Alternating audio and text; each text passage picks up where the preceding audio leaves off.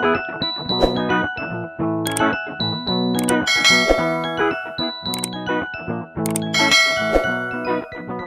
guys, may bus dito sa SAS Poly. Yun yung bus stop. Wait natin. Ayan na siya oh. Yan, may bus dito sa mga magko-commute dyan. So, yan yung bus. Ayun. Maganda naman yung transpo. Tan, yan yung sa malapitan yan yung ano bus stop dito. Diyan dumadaan, ikot palabas kaya nga nung kanina. So may ano, check nyo lang yung schedule nung bus para ano. Pero yan no, bungad na bungad na lang. Oh, where are you going, Ellen? Kaden?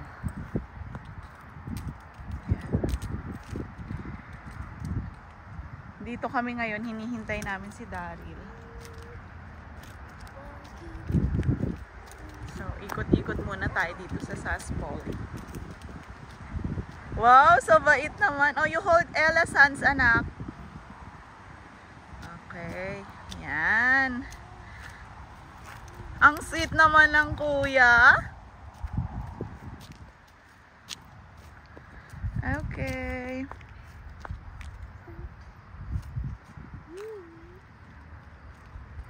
Napaka-peaceful dito. Kasi nga, Sunday din naman. So, pero ito, maganda dito mag-aral din.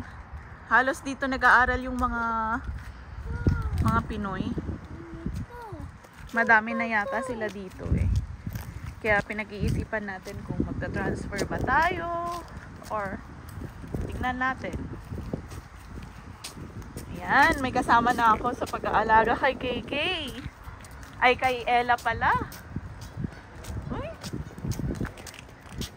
Ang sweet naman ng magkapatid na yan. Ang sweet naman ni Kuya. Kuya, you fix your hood. Fix mo. Oh, dito, dito tayo. Oh. Be careful.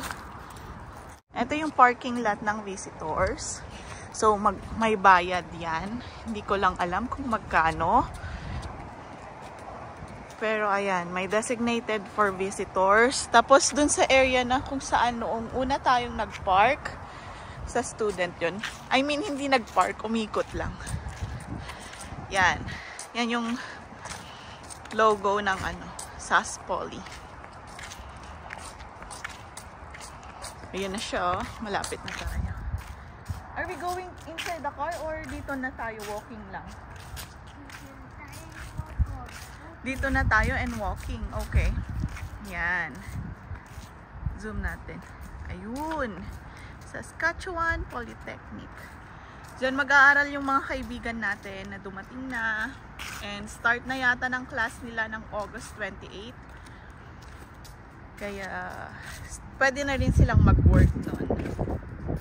Ayun lang. Pupunta tayo dito sa may upuan. Ah, ano yun? Yosihan dun anak eh. Magyoyosi daw eh. So, ikot na lang tayo dito. Tour na lang tayo. Are you happy, anak? Tapos, ito yung sa mga, ano, bike yata to. Ayan.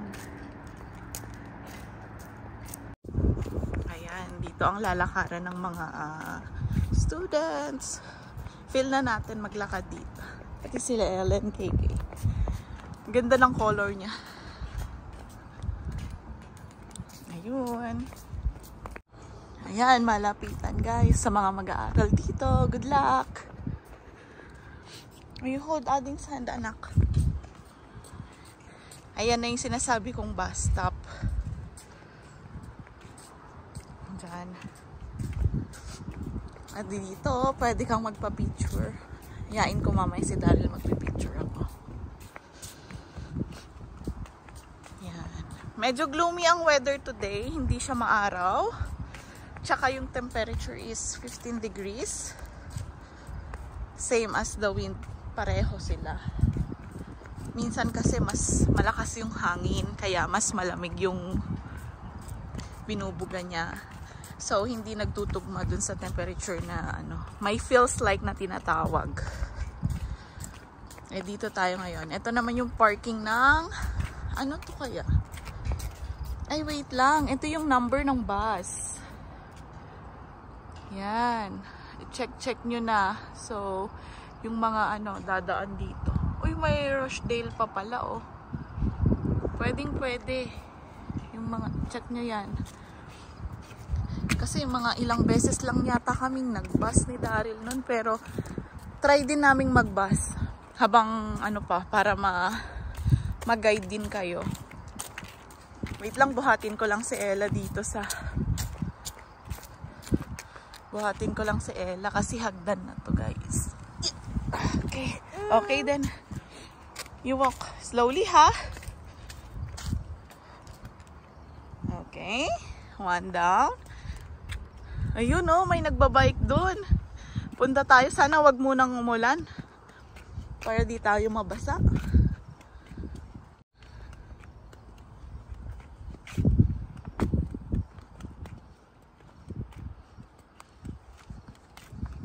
Ang ganda, di ba? Ewan ko kung yan lang ba yung building nila. Pero nature na nature talaga dito. Kung tapos mo ng exam tas mahirap, pwede ka ditong mag muni-muni. Oh my God. Muni-muni. Wait lang mataas. Come, Ella. I'll carry you, anak. Yo! Oopsie. Oh, you hold Ading's hand.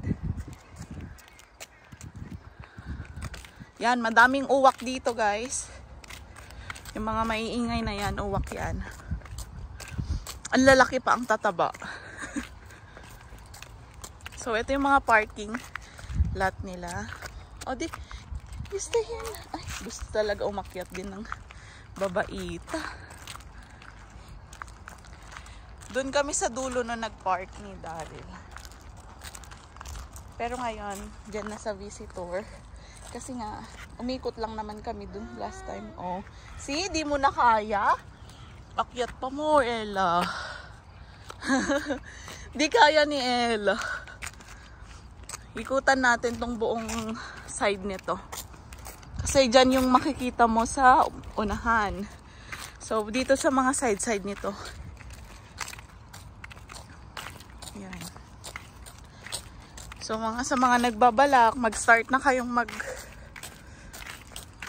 tawag dito, mag check-check ng mga course na gusto nyo. Pero ito, pinag-iisipan talaga sa mga nagtatanong na gusto daw nilang mag-aral. Pero pag inaas ko yung course nila or anong gusto nilang maging course dito, titingin pa daw. Which is, dapat mauna muna kung ano yung gusto mong i-take na course. Ito ay advice lang naman. Para hindi na rin mahirapan yung mga nagbabalak. Yan oh, uwak. Oh, so big. Wait lang, na- na-interrupt tayo guys ng uwak. Yan. Oh, don't go to the uwak. You just walk here, walk. Ella! Down, down, down, Ella, down. Oh, come on, down. Let's go down.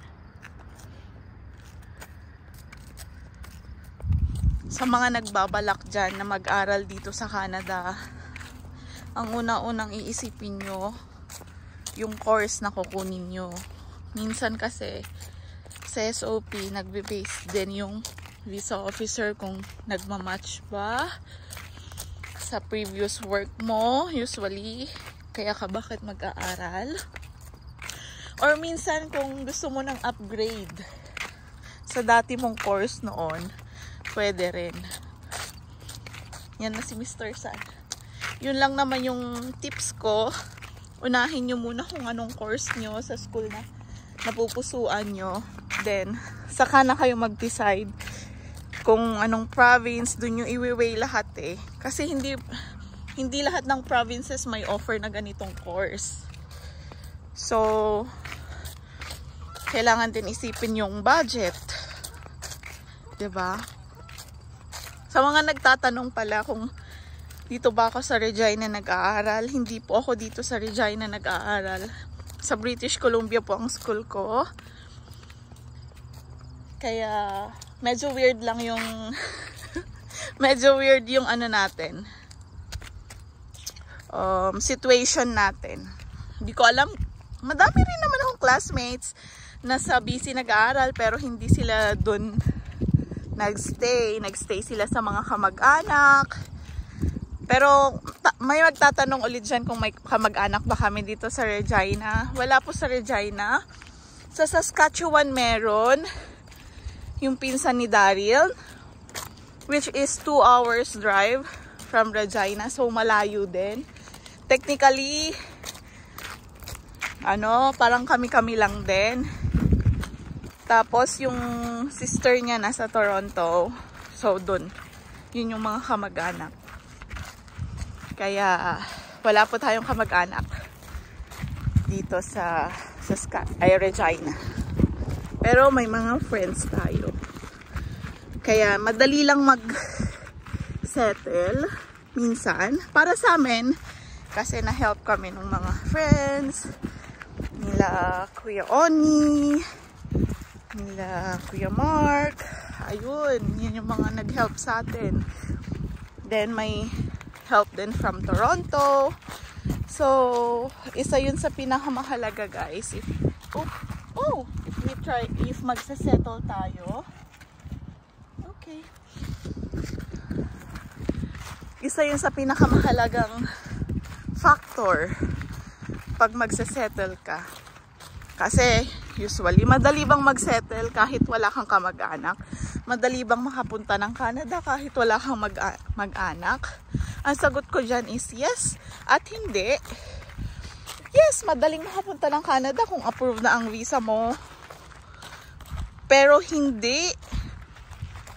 Sa experience namin, hindi ganun kadali kung i-imaginein mo na pagkalan mo sa isang lugar tapos puro, puro strangers lang lahat wala kang alam, wala kang knowledge basta dumating ka na lang doon ng wala kang mga kahit kaibigan man lang yun ay magiging mahirap yun lang naman ang aking opinion kasi nga kami may ko-compare ko kung ini-imagine ko kung wala kaming nadatnan dito sa Regina mas mahirap sa amin. Wala akong mapagtanungan. Mas mahirap sa amin. Walang sumundo sa amin. At nag-guide, mas mahirap. So, yun yung sagot ko guys. Kung madali bang pumunta sa isang lugar ng may kakilala or walang kakilala, yes eh. Dyan.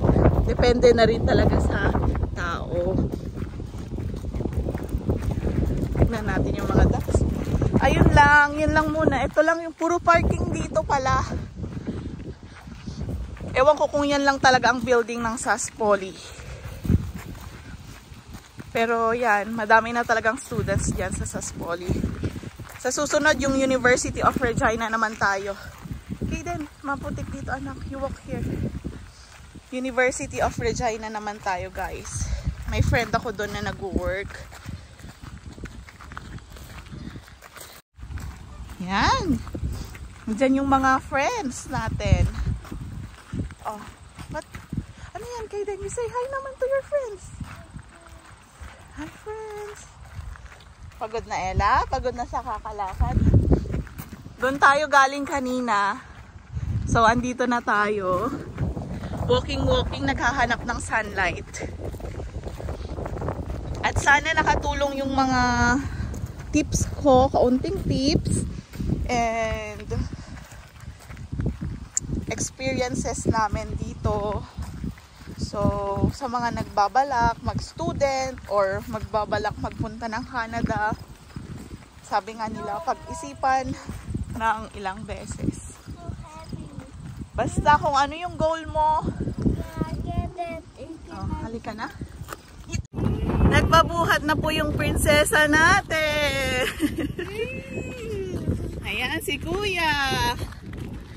Ayun, so salamat sa pagsubaybay sa amin lagi and sa mga di pa nakapag-subscribe and salamat po sa nag-comment na nag-subscribe na siya kasi sa TV lang siya nanonood. Thank you po ma'am. And hopefully nakakatulong kami sa mga vlogs namin kahit minsan na nade-delay yung upload ko pero salamat pa din and please do watch and subscribe and thank you. Say bye bye no? Ayan ito yung bus stop dito. Maghihintay ka dito kasi yung bus. Yan o so saan yung atin ayun Rochdale. Dyan meron. Ito yung schedule yan guys yan yung schedule. Monday to Friday lang. Pero bakit kanina may Sunday? Sunday ngayon eh. So yun. Questionable. Ayan. O walk na ulit tayo Ella. O you hold Ella's hands anak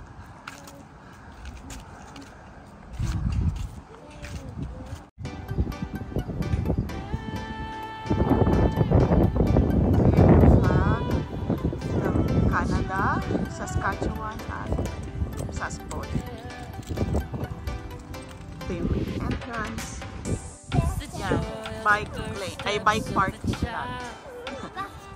Yan o, bike. Pinark nila dito yung bike nila.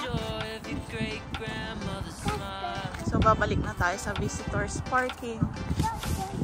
We came a long way. We ain't slowing down. We got a strong pace.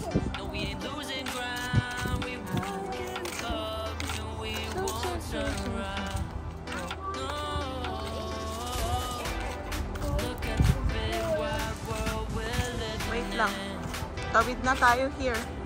Oh, let's tawid-tawid here.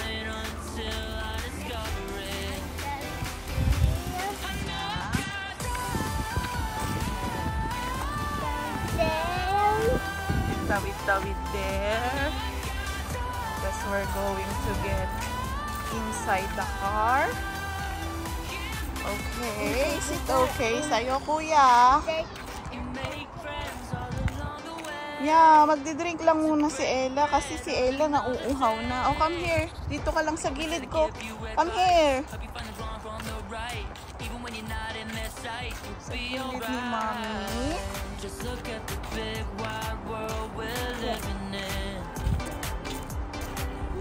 Yeah, just keep running until you discover it.